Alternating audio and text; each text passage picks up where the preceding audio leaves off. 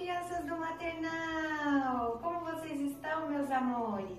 A tia Maiara tá morrendo de saudade de vocês.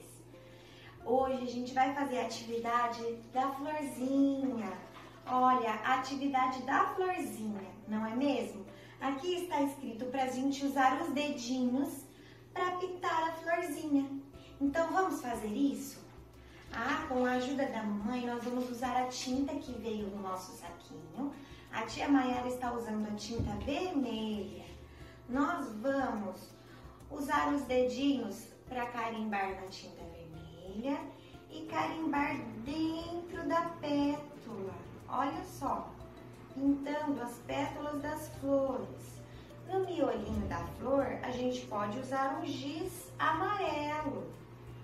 Olha só que interessante. Essa atividade vai ficar muito bonita. E mexer com tinta é uma delícia, não é mesmo? Vocês adoram.